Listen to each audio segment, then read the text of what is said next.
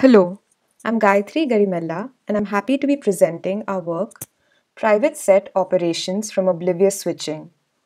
This is joint work with my co-authors, Payman Mohassel, Mike Rosulek, Saeed Sadeghian and Jaspal Singh.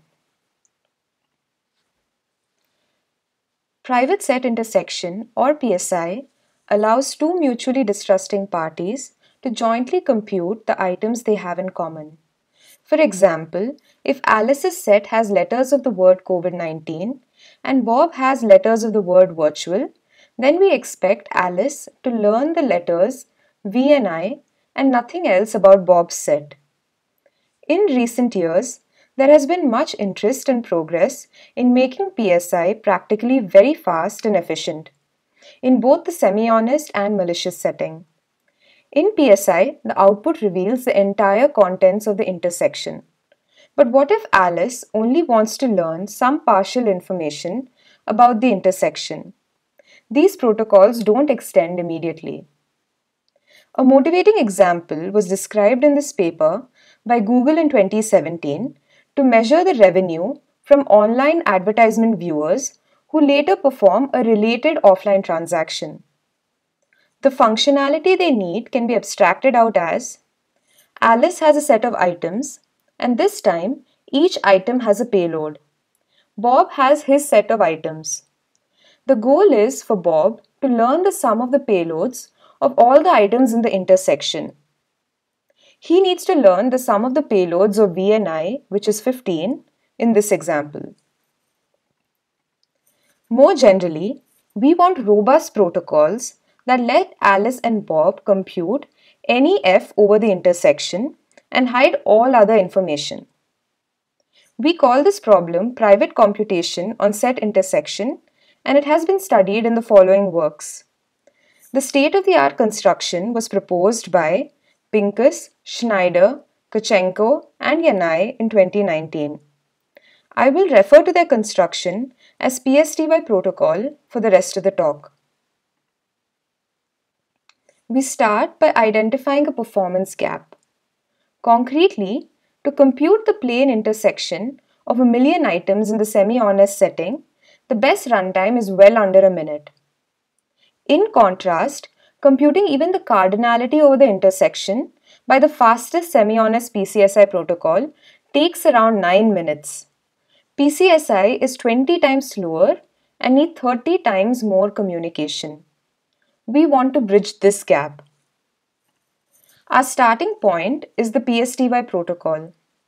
It starts with the preprocessing phase, where Alice has input X and Bob has input Y. For the rest of this talk, let's assume the size of the sets is n.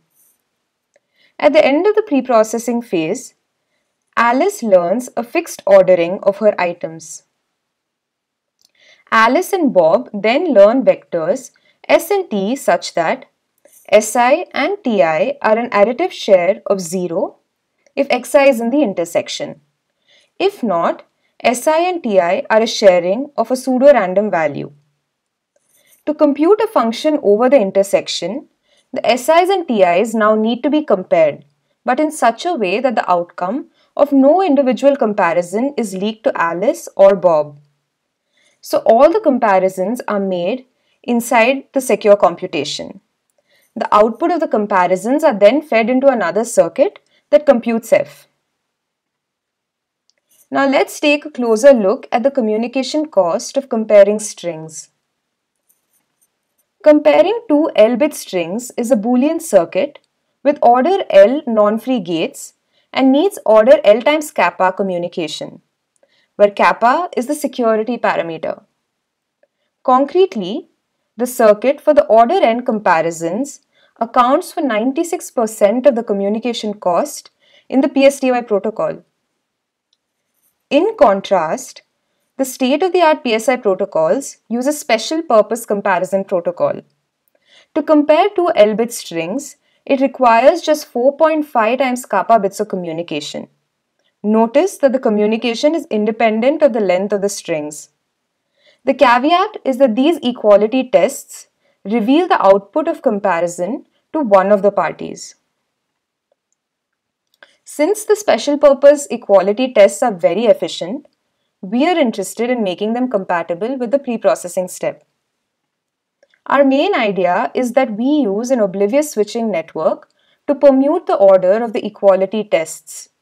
Such a primitive needs order n log n OTs over a switching network, making the communication cost order n log n times kappa.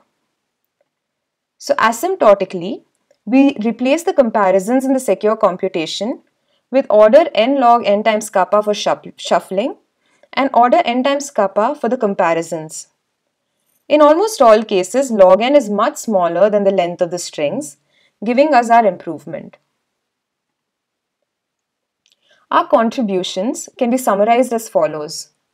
We propose a new protocol to compute any arbitrary function over the intersection provided that it is always safe to leak the cardinality of the intersection. This gives us 2.5 to 3 times lower communication than PSTY and faster runtimes on slower networks. Our main construction is what we call the protocol core or PC. As I will show later in this talk, this immediately gives us the cardinality.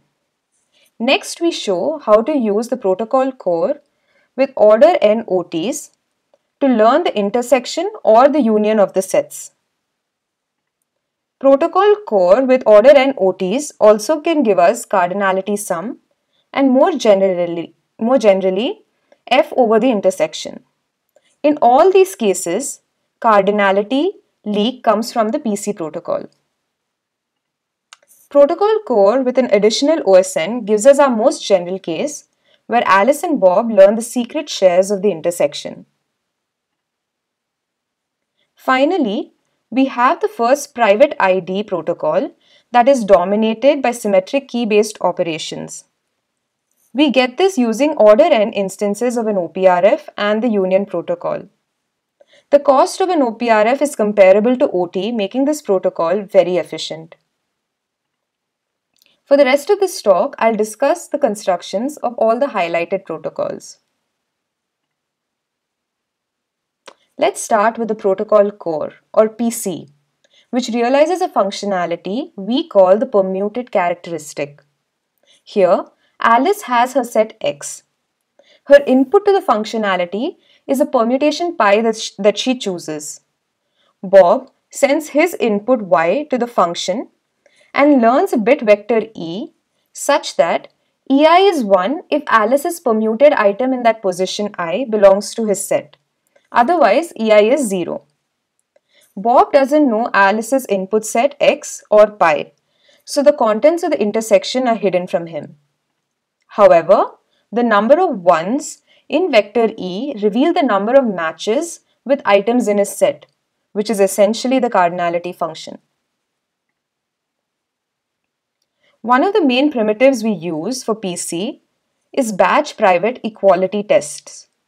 The state of the art was proposed in KKRT 16 and is very fast. Computing the equality of a million strings on a fast network takes less than 10 seconds.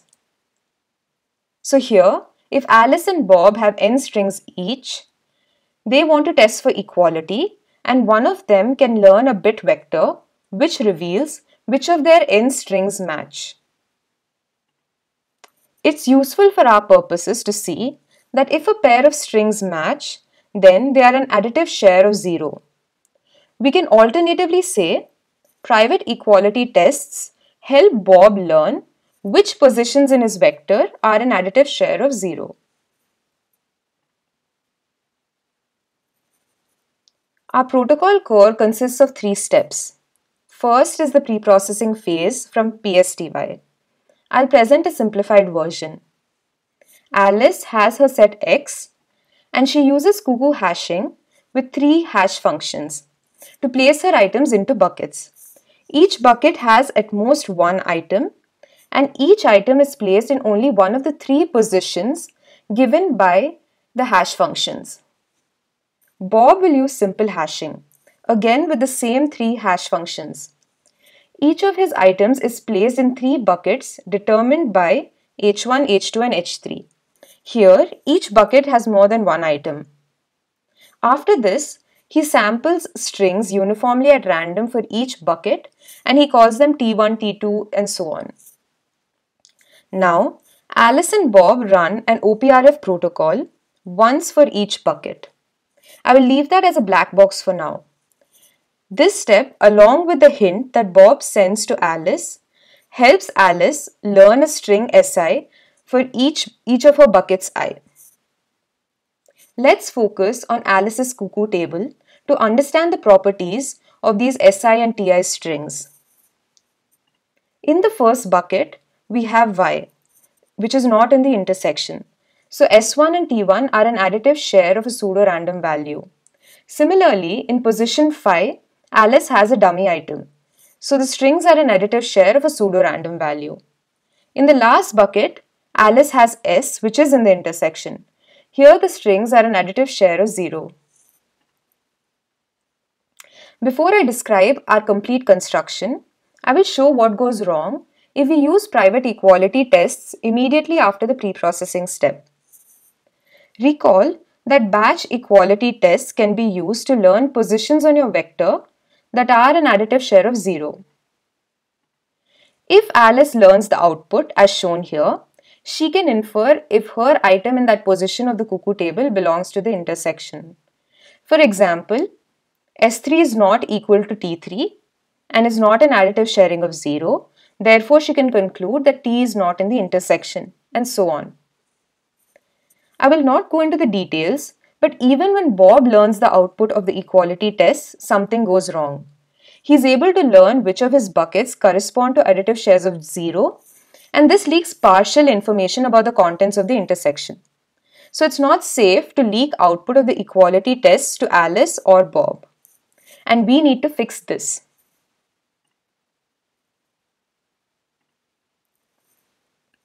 To fix this problem I highlighted, we use a primitive called Oblivious Switching Network or OSN for short. What this building block gives us is this. Alice and Bob can send their additive shares y1 and y2 of a vector y to the functionality. And additionally, Alice can choose a permutation pi. As the output, Alice and Bob learn new additive shares of the permuted vector pi y. Note that Alice can correlate between her input to her output share. However, Bob is oblivious to the permutation pi and he learns a random additive share of pi over y. So he can't correlate his output to his input.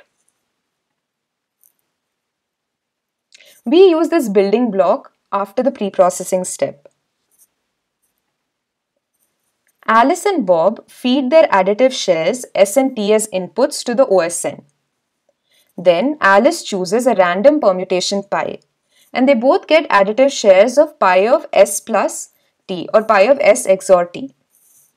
By the property of the OSN, Bob can't relate between his input vector t to his output vector t prime.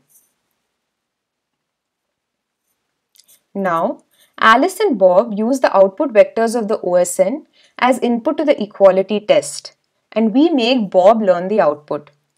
Since Alice chose a random permutation pi that is hidden from Bob, he only learns the number of items in his vector that are an additive share of 0 from the equality tests. This reveals the cardinality and nothing more. So we can see how the PSTY preprocessing with the OSN followed by the equality tests give us the permuted characteristic functionality. Alice has a permutation pi. Bob only learns which of Alice's items belong to a set according to some ordering that is unknown to him. Next, we are ready to see how we can compute the private set union using our PC protocol. The goal of private set union is that if Alice has a set X and Bob has a set Y, then Bob can learn X union Y as shown in the example. We can restate this goal as Bob needs to learn all of Alice's items that are outside his set. So far, what we have is the permuted characteristic functionality. This gives Bob an indicator vector E as output.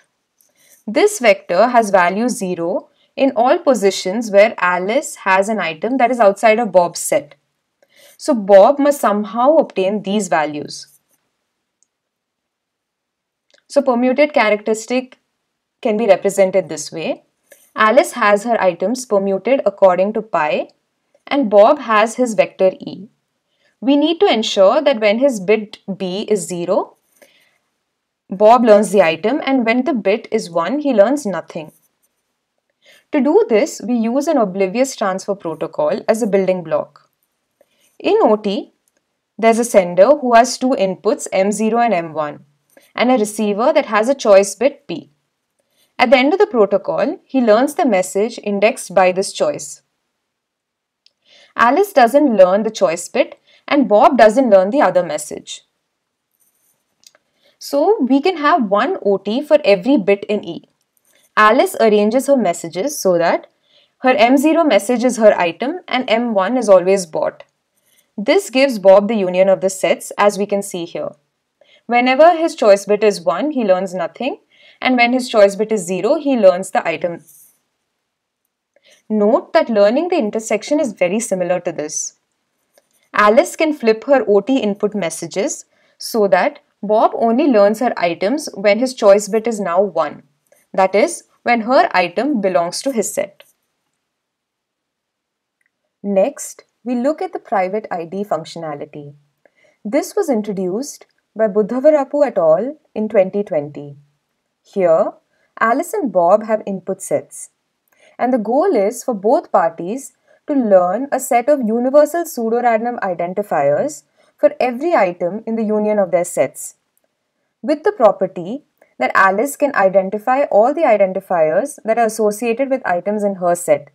So she can recognize the identifiers of the letters P, S, T, Y and exclamation mark. Similarly, Bob learns a set of identifiers and can recognize those associated with items in his set. This functionality can be used by the parties to sort their private data relative to the global set of all identifiers. They can proceed item by item and do any private computation on their data, being assured that identical items are aligned. This is because all their common items have the same identifier. The original construction mainly uses public key operations and ours is the first construction based on OT extension, which is dominated by symmetric key based operations. For our private ID protocol, we start with the oblivious pseudo-random function primitive. The sender, in this case Bob, learns the key of a pseudo-random function. The receiver, Alice, learns the PRF evaluation on her set of inputs. Since Bob has the key, he can compute the PRF evaluation on any input of his choice. For private ID, we need two instances of OPRF. In the first one, Alice acts as the receiver and learns the OPRF evaluation on her input set. Bob learns the key K1 and locally computes the PRF evaluation on his set Y. In the second instance, Alice learns a different PRF key K2 and Bob learns the PRF evaluations on Y. Alice can locally compute PRF evaluations for this key we define the pseudo-random identifier as the XOR of both OPRF outputs. So at this point, Alice and Bob can compute and, and hence recognize the identifiers of their own sets. But Alice doesn't know the identifiers of Bob's items that are outside her set and vice versa. For this, Alice and Bob use our private set union protocol to learn the set of all the identifiers. We further optimize this approach and you can find more details in our paper. Finally, I'd like to comment about our performance. We implemented all of our protocols and here are some takeaways. For a million items, to compute the cardinality, we reduce the communication and this gives us an improved runtime from 9 minutes down to 5 minutes in the WAN setting. For computing the union, we improve the runtime from 14 minutes down to 5 minutes in the WAN setting. Our private ID approach has more communication than the previous public key based approach. but we achieve a runtime improvement from 6.5 minutes down to 2 minutes on faster networks? Finally, you can find our code and paper in these links. Thank you so much for listening.